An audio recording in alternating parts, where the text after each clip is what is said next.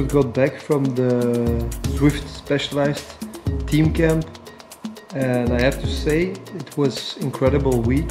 First of all, we were so well equipped and we were so spoiled to get a new bike, wetsuits, cycling kits, everything you can actually imagine. But most of all, it was such a nice team from Specialized and from Zwift. We got the opportunity to meet the crew behind Zwift and behind Specialized. We got to know Tim Don. Tim Don is, is, a, is a monument. He's, he's, one of the best triathletes in, in, in the world. And something uh, very special about Tim that he was so involved in the project and was very interested in us. He was also racing in, in Hamburg. So I look forward to, to meet him in, in, in a few weeks.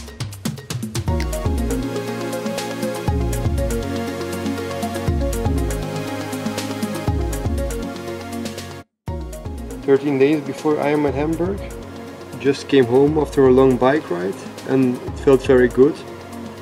So I'm uh, really looking forward to it.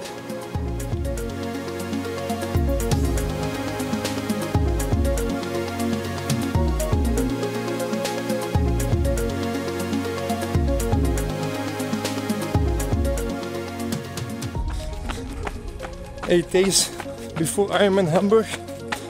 Um, I still feel very, very tired after last week's work.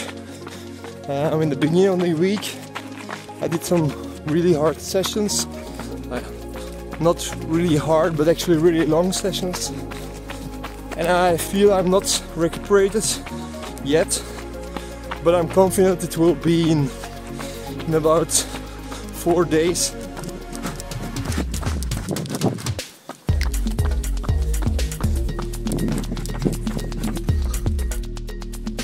I've been busy on uh, making my uh, race plan. Power on the on the bike is for me on the Ironman the first 120 kilometers are very important that I that I pace 250 to 60 watts on the Ironman. Um, I've been training a lot on, the, on, on, on those paces. After 120 kilometers I will start to focus on my feeling.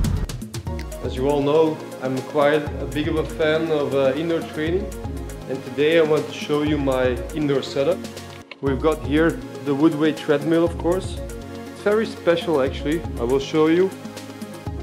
As you can see, it's not one band actually, but it's in pieces.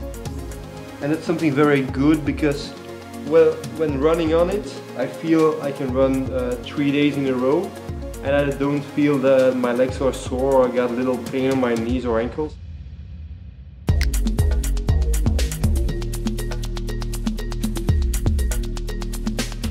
There of course is my S-Work Shiv on the Wahoo KICKR and with the iPad in front. I do a lot of training on the indoor trainer.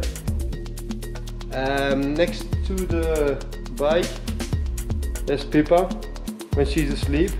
So actually when I'm training, it's very, it's very nice to have my daughter next to me.